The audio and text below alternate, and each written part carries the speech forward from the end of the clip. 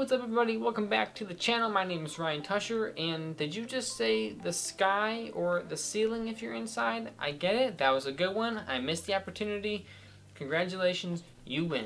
Uh, but other than that, it's almost the end of August. Summer is already gone and out of here almost. My tree, is the leaves are falling already. Ay ay ay, like why can't summer just sit here and stay for a little bit? Like, seriously man, just, just, just relax with us.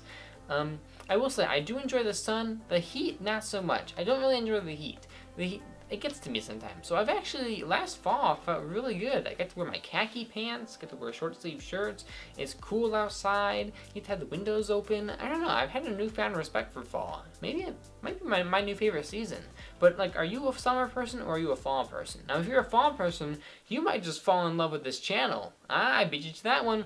I'm just kidding, that's enough puns for today. Today we're talking about the HDR mode for the photos on the Canon R6. If you don't know what HDR stands for, it stands for High Dynamic Range. Basically, it gets you get to pull more colors out of the highlights and the shadows compared to a normal like dynamic range where if you go into the shadows a little bit, it starts to turn into blacks really quickly. If you go into the highlights, it goes uh, to whites really quickly, they call it blown out. So the high dynamic range allows you to capture all of those those colors that you want to bring out, the blue skies, while also being able to capture the interior of a room and stuff like that. So we're going to go over how to do that, go over all the settings on the Canon R6 and help you to uh, add this to your arsenal of knowledge.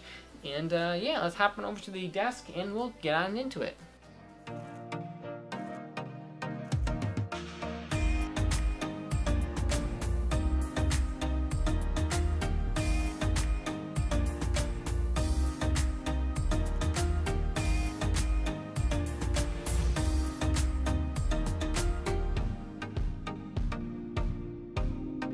Alright, here we are in our new top-down angle. We're here with our Canon R6, and we're over here in photo mode. We're in manual right now.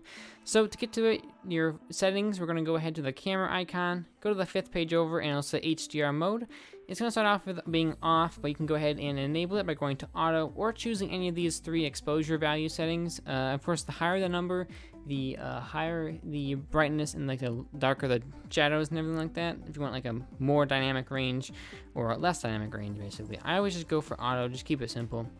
Um, then you have the effect tab over here. This is so natural will give you basically like a grayer photo with um, all of the stuff. And you can go through and color grade it yourself.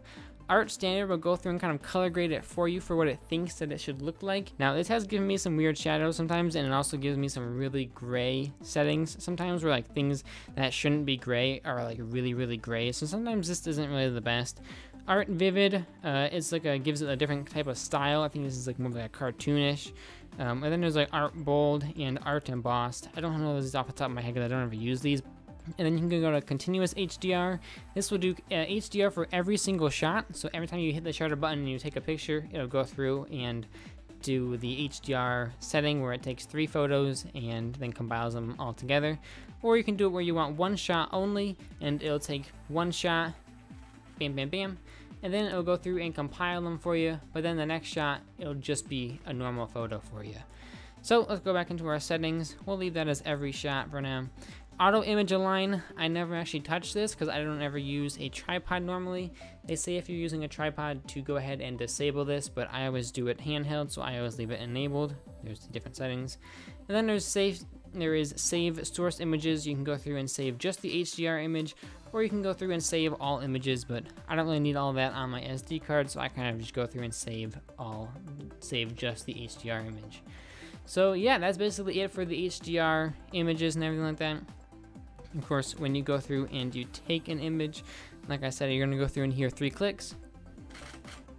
And that'll take three of the things. Now this does not work if you have the shutter on just electronic. It won't actually let you, uh, dis it won't even let you enable the setting. Let's say you go to the electronic shutter.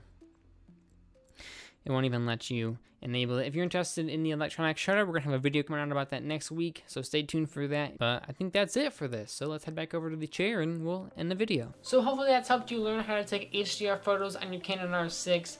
Um, it's pretty cool. It allows you to get really nice dynamic range out of your camera and out of your photos and everything. Um, but I'll be honest, I don't always use it. Sometimes I still just take a raw picture and in post I go through and just change all the exposures and everything like that. and I can sometimes actually capture the same amount of data as I can with HDR mode on. I think HDR mode has a very specific use case. You have to really figure out where it is. I think it's good for interiors with an outside window or something like that. At least in my testing is what I've found out. But it's pretty cool. I definitely need to go learn more about it and stuff like that so that I can take better pictures with it. But I sometimes still just go for the raw pictures. But if you're here for the tutorial and you're here for the HDR stuff, thank you very much for watching. If you enjoyed it, maybe hit the like button, and if you want to see more, hit subscribe. But if you want to see a little bit more, we've got a little bit of B-roll today um, at the end of this video because there's an event in my state called Back to the Bricks where a bunch of old classic cars do a little bit of a drive down on the street and they go up and down and everything like that and they show off and they rev their engines and stuff like that and it's really cool. And I decided to get some B-roll of it and take some nice photos, so I'm going to put, the, put them at the end of this video and stuff like that. So, yeah, thank you guys very much for watching. I will see you guys next week. Here's the B-roll. See you later.